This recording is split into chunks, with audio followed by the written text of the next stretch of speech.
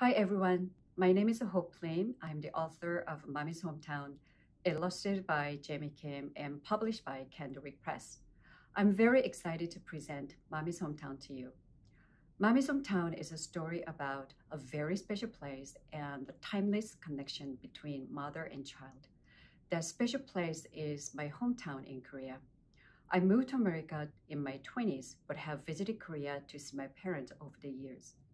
I noticed the changes that slowly altered the look and feel of my hometown, which made me nostalgic for the things that are gone. But I realized that despite all the changes, there are some things that remain the same, like my memories about the place and the old river where I used to play as a child, and most of all, my parents and their presence and their love. I hope you enjoy Mommy's Hometown, a story about honoring the past and present and celebrating the mother-child connection.